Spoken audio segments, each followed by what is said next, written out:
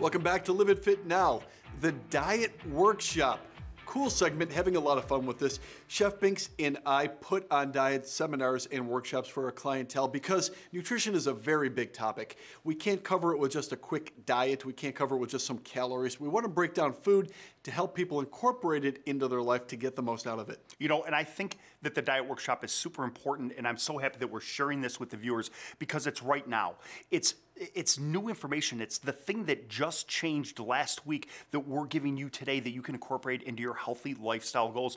Dietary fats, big confusion point just about fats in general um, on what's good, what's not good. It changes every day in the newspaper. We've got some really cool and insightful information this week. Fats are the new black.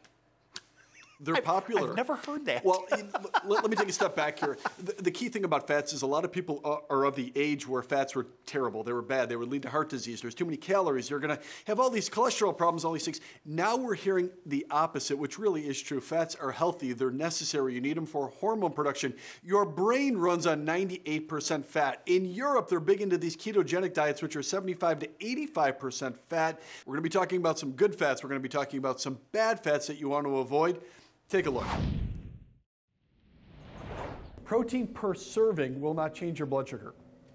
So if your blood sugar is currently 100 and you have a serving of protein, it will not change your blood sugar. Can't live on protein alone though. If you try, you will die. Don't try. We need dietary fats.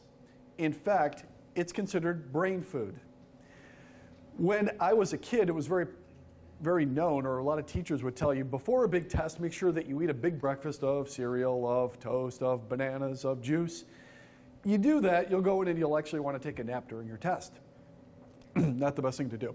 It's better to have a high fat meal or some fats before a test than anything else.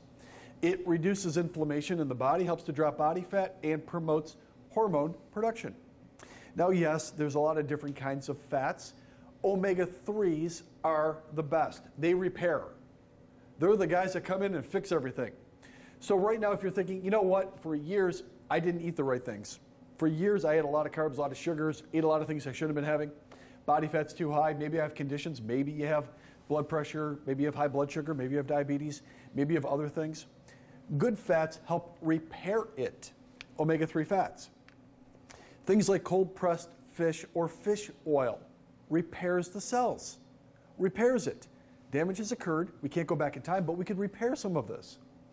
Flax oil, walnut, sunflower seeds, almonds, macadamia nut oil, olive oil, even butter, even some MCT, which stands for medium chain triglyceride oil, and even cream. Cream and butter are identical.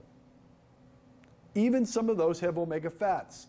The highest ones, though, are in fish oil, macadamia nut oil, and walnuts, by far and away. Okay? Those are all good fats. Now, bad fats, yes, we want to stay away from. We don't want to go out and have Crisco, shortening, lard, soybean oil, hydrogenated oils, margarine. We don't want those things. But even if you did, even if you had a bad fat, Jerry, if you said, I'm going to eat a spoonful of Crisco, I don't recommend it. But I can't stop you. And if you did it, it wouldn't even change your blood sugar. Okay? Don't do it though. Don't do it. Don't do it.